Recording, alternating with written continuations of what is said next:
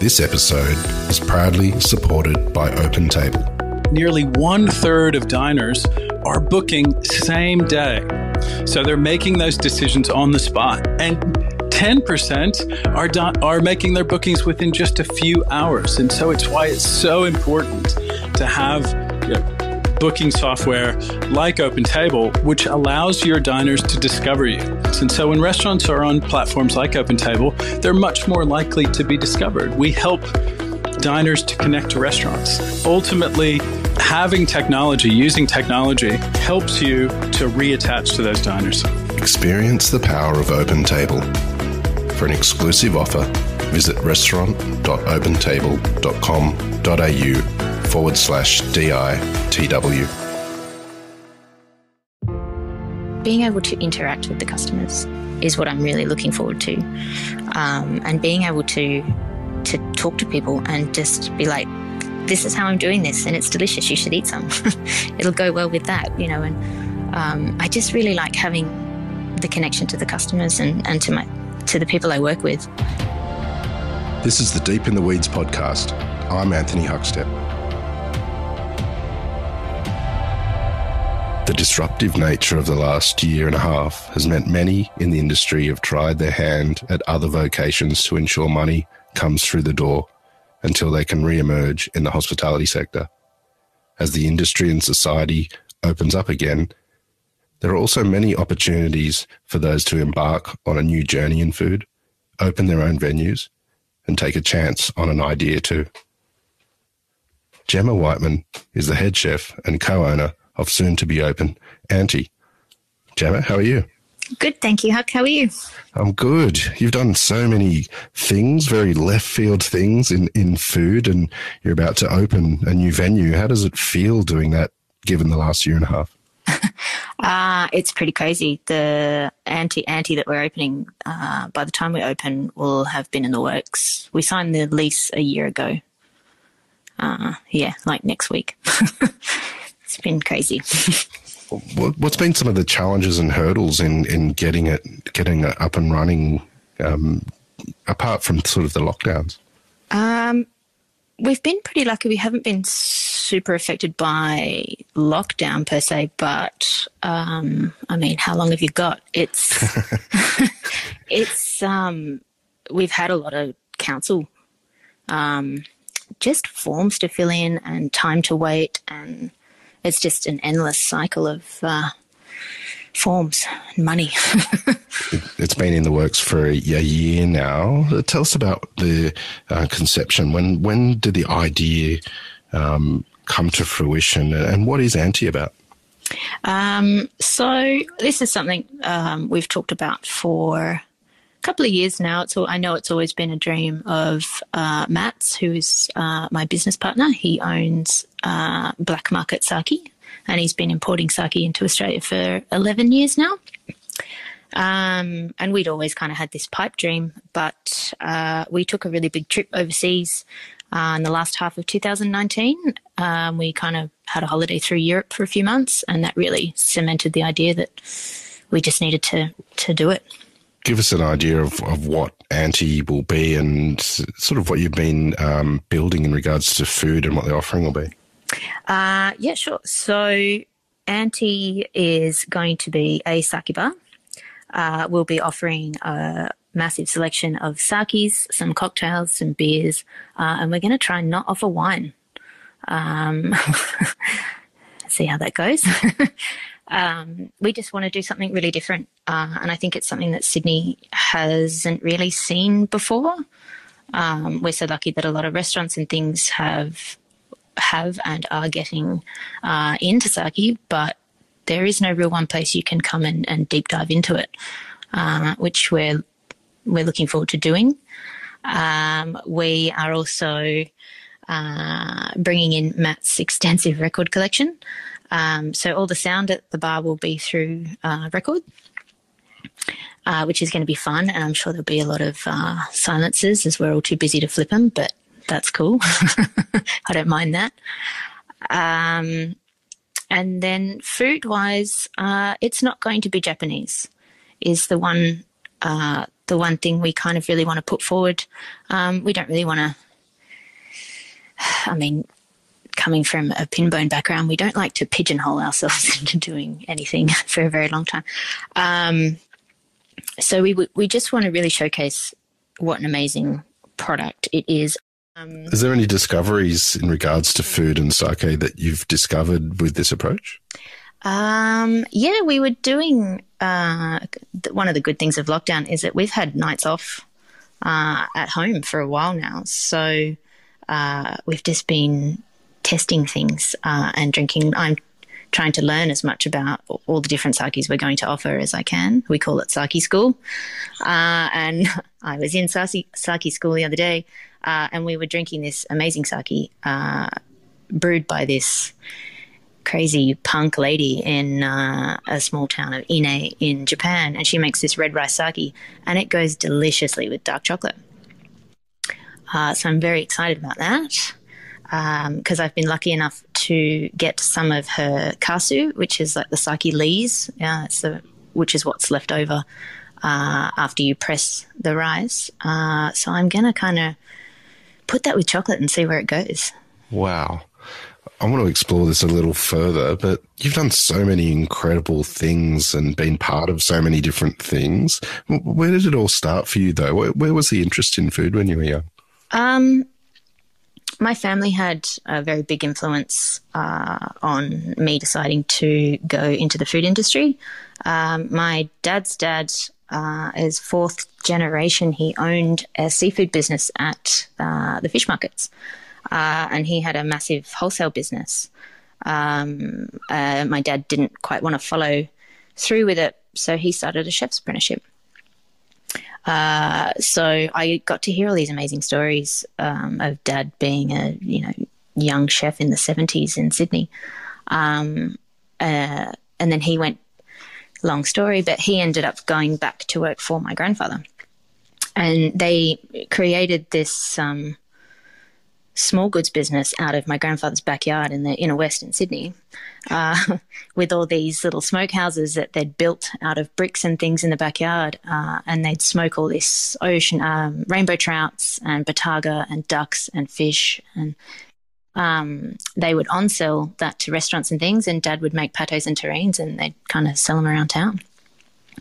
So I just I was I just thought all this was amazing. Um, and as I got older into my teen, into my teens, and I got to hear the kind of the fun stuff that that Dad was doing, it just it's all I wanted to do. Do you remember the first time you stepped into a commercial kitchen as a chef and, and how you felt? Yeah, I do. Um, I started my apprenticeship halfway through uh, year 12 because my folks wouldn't let me leave school and I just didn't really have any interest. Um, so I bought the Good Food Guide and I sat there and I read through everything and I circled all the places that I thought sounded really cool. Uh, and then I would watch the paper and I'd watch for um, ads. And then I'd go through and I'd, and I, so I ended up at the Clock Hotel in Surry Hills um, when there was a restaurant upstairs there many years ago. Um, and it was amazing. I was so excited. I'm sure I was a total um, Gumby, but I was so lucky of having a little bit of experience. Like when as soon as I kind of told dad that, you know, this is it, I want to be a chef, he was like, okay, I'm going to teach you how to, you know, julienne carrots and brunoise and onion. And so I was just, I was just so excited to be in there and I just, yeah, never left. Do you have any stories of those times with your dad and sort of passing on that knowledge? Um, yeah, we have have this really great memory um, of being a kid sitting in my grandparents' backyard, and he used to um, make his own bottarga. Um, and I had no idea that it was as fancy as it is these days. Um, so we used to, um, we'd sit out in the backyard and he'd have them all out drying in the sun and on um, on these racks made out of like fishing wire and uh, fly screen and stuff. And um, we would sit there with a vegetable peeler, a loaf of tip top Wonder White bread, and margarine, and we would eat bottarga sandwiches. And it wasn't until I actually got into restaurants that I was like, oh, I know this. it's how much? but yeah.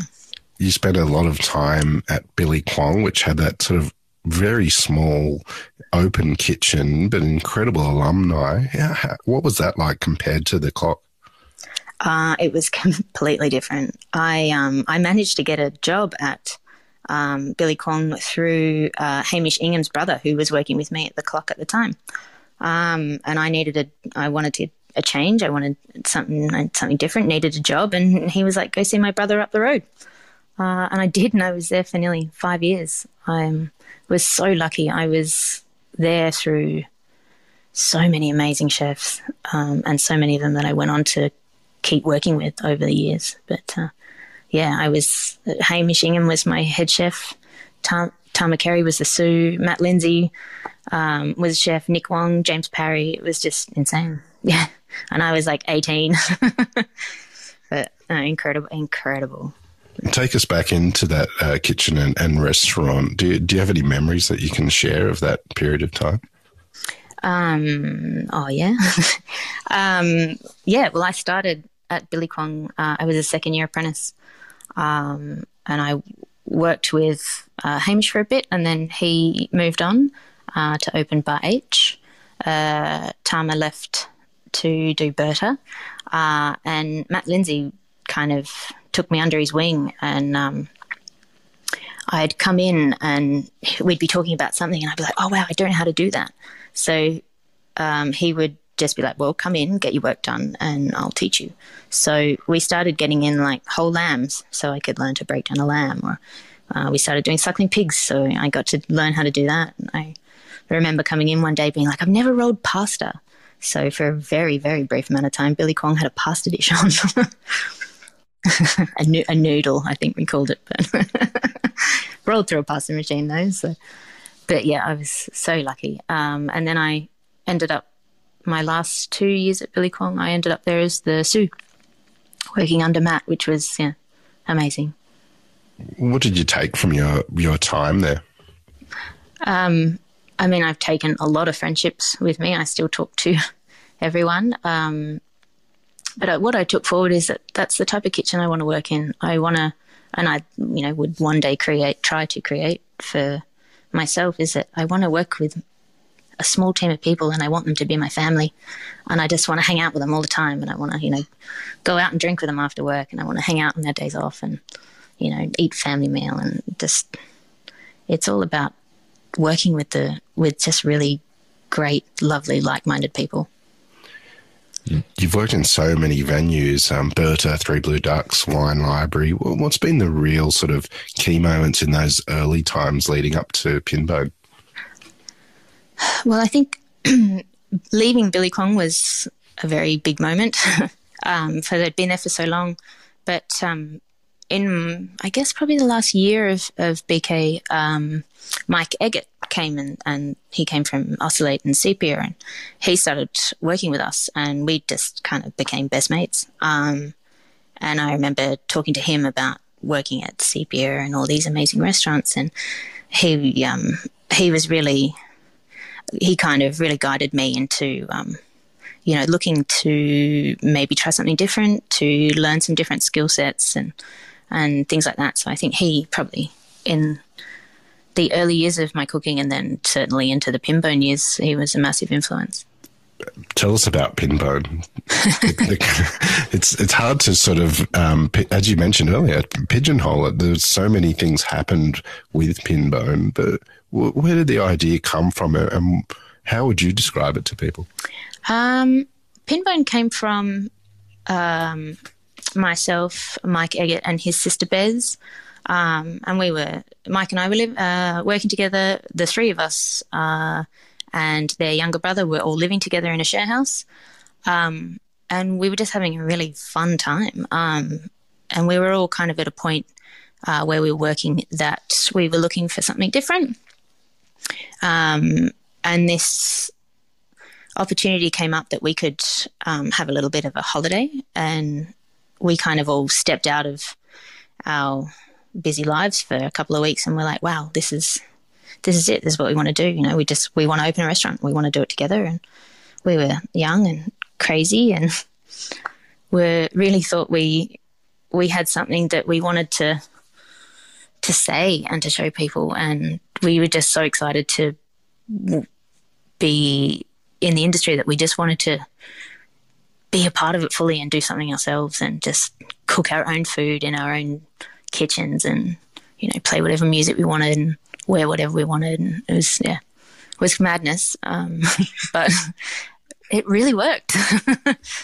Do you have any stories of that madness? There's been so many iterations of, of, of Pinbone, but um, good luck Pinbone, for instance, pulling that together in that sort of ramshackled um, former restaurant. Um, tell us about what, what that was like.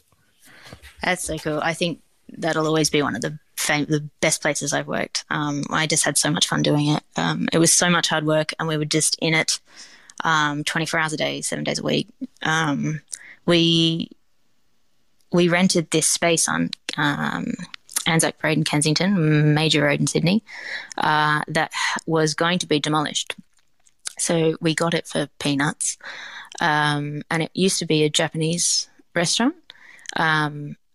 And so it kind of had this really kind of interesting vibe to it, and us having no money or any way of really doing anything fancy, um, we painted it hot pink and red and um, bought cheap black carpet from Bunnings and found stools um, which came from a school and tables that came from a church. Like we just, it was amazing. We, um, I think we spent about 20 grand and we just managed to pull this thing together right at the last minute by the skin of our teeth with both sets of parents building, painting, carpeting. um, but it was amazing. Um, we had two walks uh, and we had this tiny little Conroe and we just pumped out a lot of food uh, for, yeah, and just crazy. we had this stupid um, exhaust hood in um, in the kitchen and it was quite temperamental, but we didn't really know it because it was just so hot in there all the time. You're standing over a wok, so you don't you get used to it pretty fast. Um, and there was myself and Mike and and uh, our chef Brando that was working with us, and um, people kept coming in to have a chat and from the dining room. They're like, "God, it's hot in here," and we're like, "Oh, whatever." Um, and then all of a sudden, we had a bottle of sesame oil in the kitchen, and it exploded. And we were like, "Oh shit, maybe it is hot in here." Uh, turned out the yeah exhaust wasn't working at all, but but um, yeah, it was insane. We yeah we just ran on adrenaline for the moment it opened to the moment we closed it. It was an incredible time. It became one of the most popular BYO restaurants in the city for its time. What, what sort of thing? What, what, what were you cooking there? What, what, what do you think the draw was for for all those people that sort of fought to get in? I guess we had we had no rules. Um, if you wanted to bring in an esky with uh, bottles of you know slabs of beer and, and bottles of champagne and things, you could. Uh, if you wanted to bring in a bottle of gin and just kind of sit and have a little bit of a sad and sorry night, you could. Uh, and we charged you five dollars for it. So um, I think, and I, I guess we were that's what we wanted to be doing, you know, and that's what we w- used to do uh, before opening. Is it us and a whole group of friends um, just used to hunt around Chinatown to find really delicious food that we could BYO wine to, um, and for us, it just yeah made sense. There was a period of time where Pin, Pinbone teamed up with Merivale to do Dirty Italian Disco. What, what were the benefits and challenges of, of combining this idea that the three of you had had with such a big group?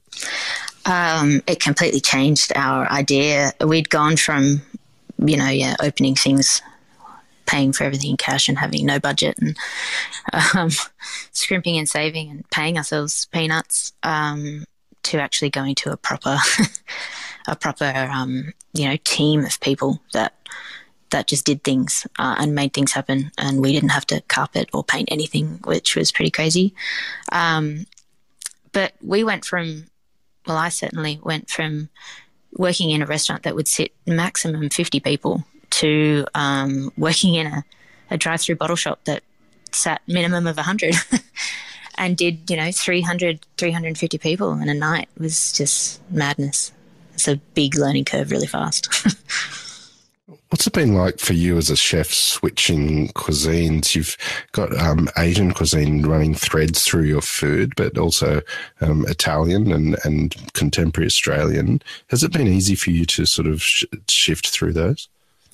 Um, I wouldn't say easy, but uh, I kind of look for it too. I really like to keep changing things and learning things, and um, I like to kind of go down a rabbit hole and just be like, I'm going to learn all about this. Um, but having such a great grounding in um, my training and my time at Billy Kwong, it really teaches you not just about Chinese cuisine, but how how to learn and how to teach yourself and um, how to adapt. So coming, you know, going from Chinese uh, straight into super Italian um, food, it kind of makes so much sense because there's a lot of crossover, and um, you know how you layer your flavors and how you build dishes is kind of similar. Um, it's just yeah, different different flavor combinations. You use anchovies instead of fish sauce, and you know you use tomatoes instead of soy, and you you get that depth of flavor. Um, you just get to it in a different way. But the yeah the the training having um, training through Asian cuisines really early on just really opens your mind to how other cuisines work, and it all kind of slots in and it all makes sense to me anyway. You've worked uh, in numerous locations with Tama Carey from Billy Kwong to Berta and Lankan Filling Station. Uh, what, what sort of influence has she had on, on your career? She's had a massive, massive influence. Um, I've worked with her oh, for years, all up now. Um, we we just kind of hit it off. She really um, kind of took me under my wing, her wing, when I was yeah eighteen, fresh faced at Billy Kwong, and just um, we kind of became really good friends, um, and we still are. I had dinner with her last night, and I told her I was doing this, and I was like, you know, I feel like I'm going to get asked what your influence was on me. And um, I said, the, the one thing I really, I was like, the one thing that pops to my mind straight away is that if there's anything going wrong, go and stand under the fan in the cool room. It fixes everything. also, if you cut yourself, you should have a shot of vodka and eat some chocolate. Tom has always had this amazing ability to um, bring bold flavors to the fore with a, with a bit of a delicate touch. What's it been like from a, a food perspective working from her as a chef? Uh, well, Tama has so much to teach you that you can learn so so much in how she just how her brain works um, and how she thinks of things and just how she can take ingredients that you've used 10,000 times before and just completely turn it on its head. Um, and she has this just amazing knowledge of, I mean, Sri Lankan cuisine. Um, like through at Lankan Filling Station, we based a lot of things on her grandmother's recipes, and to and her aunties and her aunties' friends, and you know all these. We drew on so many stories that she has um, to be able to bring the food at Lankan to the plate. And I think that's really what Tama does so well is that she has this incredible story and she's able to to put it on the plate.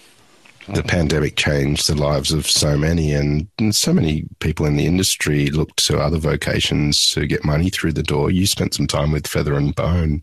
Uh, what sort of role did you have, and what what impact did it have on you? Um, well, I'd just come back from this big trip through Europe, um, not not thinking uh, for a second that I wouldn't be able to just walk into a kitchen and, and pick up a job. I'd never had any problem before, uh, and we got back just as um, just as the pandemic hit. So I came back to lockdown, um, and instantly there isn't there were no kitchens, um, and I had no idea what I was going to do, and I was at a bit of a loss. And um, I went in to to buy my weekly meat from from Grant and Laura at Feather and Bone, and two days later I had a job. Um, it was, I'd never worked in a production side of things before. Um, so that was really different to anything I'd ever done. Um, but a really great chance, and because I had the time, a really great chance to really learn how to do uh, a whole lot of things like canning and preserving and um, you know big batch cooking and things like that. It's just something I had um, had never had the chance to do. But I think moving moving out of there, um, I worked there through lockdown, and then when uh, restaurants opened back up, I, I, went back into working with restaurants. But just, I mean, to be able to work with the produce they they have is incredible, and the farmers that they work with, and the produce that you know, the whole carcasses that arrive in a truck, and half an hour later, um, someone's brought to you all these cuts of meat, and they're like, "What do you want to do with this?" think quick, you've got 50 kilos of it. So that sort of experience and insight, has that changed the way that you approach food in a, in a kitchen now? Definitely. Um, it's really changed the way that I look at, I guess, especially meat. Um, you know, having worked through through kitchens, I guess I was lucky in some of the kitchens I, I did work in, but to ring up and place an order through a you know a butchery um, and then the next day, you know, a bag of cryovac chicken thighs turn up at your door. Um, to having to having this amazing connection to, um, you know, the actual whole bird and the chicken and where it came from and who grew it and how it got to you and you know being championed by by people like Grant and Laura was it's completely changed the way I I um, I look at it and yeah going going forward into kitchens I'm am definitely going to take that that side of things. But. Well, you've been building Ante now for, for a year and it, and it will open soon. What's it been like creating this um, this bar and concept? You've you've um, opened places before with a limited budget and a um, tin of paint. Is, is is this a little different? This is definitely different. Um, this kind of feels. It's, I don't think it's the right way to say it, but it feels like a grown up restaurant. it feels like I'm finally, finally a grown up. Maybe Matt, Matt's a grown up. um, but yeah, to this will the first restaurant that will um, be my own that I've opened. That's that I don't plan on closing within a couple of months. I guess with all the pin bones, we never really knew what was going to work and what wasn't, and uh, so we never ever went into any of the ventures we did with an ideal that it was going to last for more than a few months. Uh, so to be looking at to opening a space uh, and building it from from the ground up, there was you know we've done everything here. We've put grease traps and hoods and complete kitchens and whole dining rooms, um, with the idea that this is this is a long term. This is my you know this is the next stage in in my career. This is my restaurant that I'm going to have hopefully for a long time. Uh, is really yeah, it's a mind boggling sometimes. Given the, the last year and a half and the impact on the industry, what sort of impact has it had on you? And uh, does it affect the way that you're um, creating the operations and what offering you'll do? It has.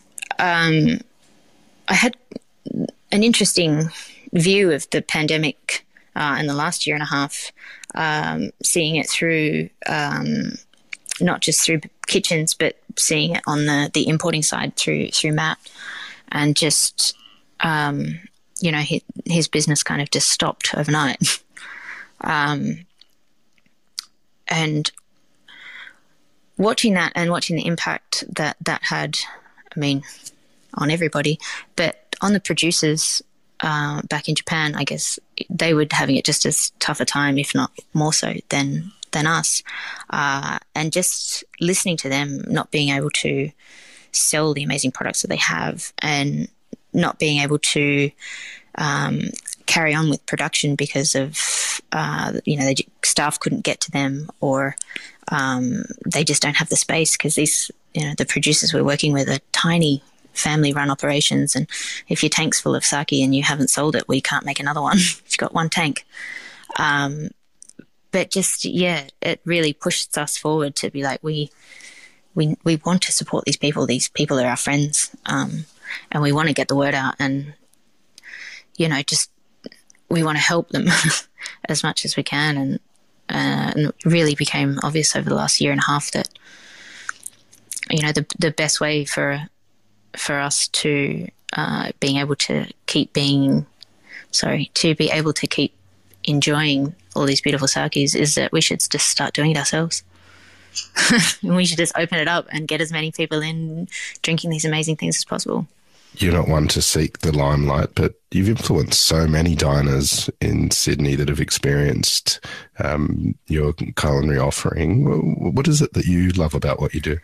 I just really love being in the kitchen. I love cooking and I love feeding people and I love forming friendships with the chefs that I work with. Um, and I just like being in there and I like cooking and I um you know, I guess I've really brought that forward to what we're doing now at Ante. It's going to be a completely open space. Um, so there is no, the kitchen's completely open. Uh, it's just one warping great slab of wood, and I'm on one side and the diner's on the other. Um, so there's no hiding dirty chucks and things, but I'll deal with that when we get to it.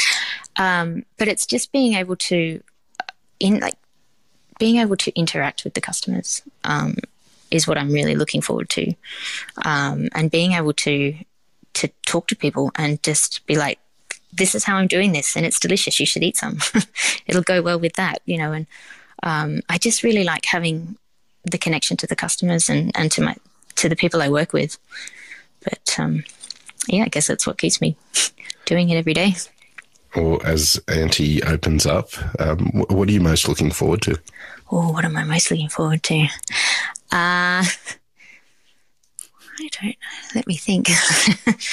um, I'm most looking forward to seeing a whole lot of uh, regulars that um, I get lots of text messages from asking me every week when we're going to open. uh, I'm really looking forward to to Matt getting back out on the floor because um, the, I mean, he's he's so great. Um, I'm biased, um, but just you know, have having being served by him uh, and watching him work in you know many different restaurants over the years. Um, he just has this incredible story to tell, um, and I'm looking really forward to him being able to to do that. Um, and I think he'll do that through the records he chooses uh, and the sake he pours. And I'm just really excited that I get to do it with him. Well, Jemma, I know there's a lot of people that are really excited to see what you do as well. We've loved having you on Deep in the Weeds to hear your story today. Please keep in touch. Good luck, and uh, we'll catch up again soon. Thank you very much. You'll have to come in when you're up again. I would love that. awesome. Thanks, Huck. This is the Deep in the Weeds podcast. I'm Anthony Huckstep Stay tuned as we take a deep dive into the lives of the incredible people who ply their trade in the food and hospitality sector. Special thanks to executive producer Rob Locke for making this all happen. Follow us on Instagram at Deep in the Weeds Podcast or email us at podcast at deepintheweeds.com.au. Stay safe and be well.